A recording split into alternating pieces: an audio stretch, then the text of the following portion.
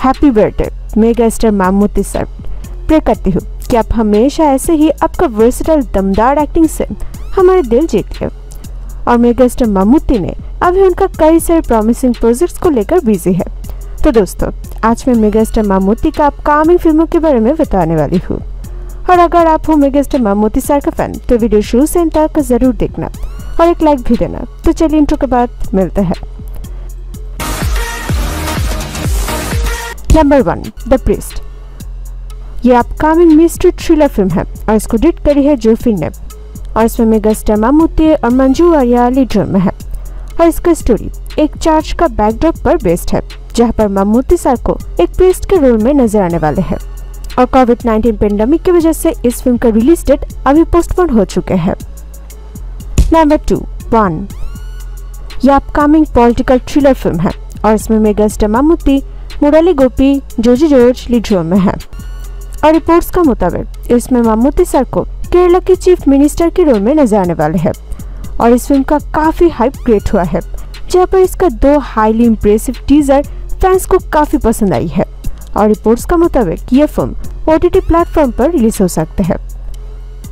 Number three I am a disco dancer ये upcoming comedy thriller film है, और इसमें मेगा स्टार मामूती लीड में है।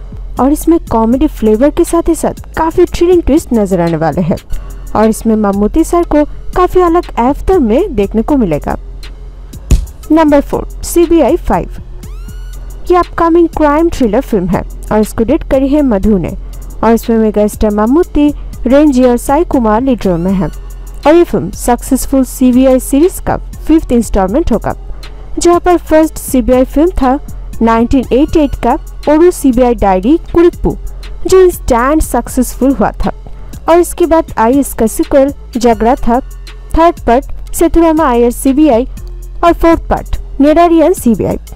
और अभी इसका फिफ्थ पार्ट आ रही है, और जिसलिए फैंस ने काफ़ी एक्साइटेड है। Number five Bilal. ये अपकमिंग एक्शन थ्रिलर फ़िल्म है, और इसको डिट करी है अमाल निराध ने। और इसमें mega star Mammootty Mamta Mohandas lead में है और ये film 2007 blockbuster film big B का सेकेंड इंस्टॉलमेंट होगा और इसमें बिलल अंडरवर्ल्ड दुनिया का एक डॉन है और इस सेकेंड पार्ट में उसका रिटर्न स्टोरी को दिखाया जाएगा और ये film one of the most awaited film बन गई है नंबर सिक्स न्यूयॉर्क ये अपकमिंग ड्रामा फ़िल्म है और इसको डिट करी है वैशाख ने और इसमें mega star Mammootty lead role है और इसी फ़िल्म के साथ डायरेक्टर वैशाख और मामूती सर का थर्ड इंस्टॉलमेंट होगा।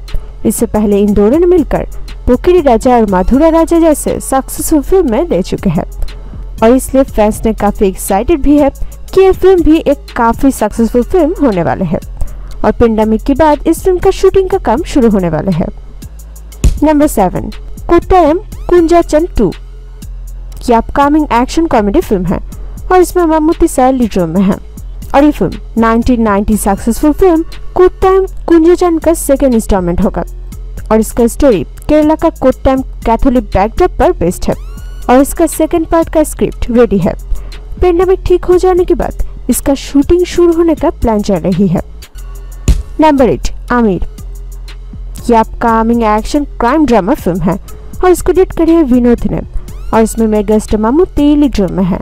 और इसी डायरेक्टर के साथ मिलकर मामूती सर ने द ग्रेट फादर जैसे सक्सेसफुल फ़िल्म दे चुके हैं और आमिर फ़िल्म एक बिग बजट वाला फ़िल्म होगा और इसका स्टोरी दुबई बेस्ड अंडरवर्ल्ड पर बेस्ड है और इस फ़िल्म पे मामूती सर को एक डॉन के रोल में नज़र आने वाले हैं नंबर नाइन मिनिस्टर राजा ये अपकमिंग एक्शन फ़िल्म है और इसको डेट करी है वैशाख ने और इसमें mega star Mammootty lead role में है और ये पोकिरी राजा फ़िल्म सीरीज़ का थर्ड इंस्टॉलमेंट होगा इससे पहले 2010 पोकिरी राजा और 2019 माधुरा राजा जैसे सक्सेसफुल फ़िल्में डायरेक्टर वैशाख और मम्मूटी सर ने दे चुके हैं।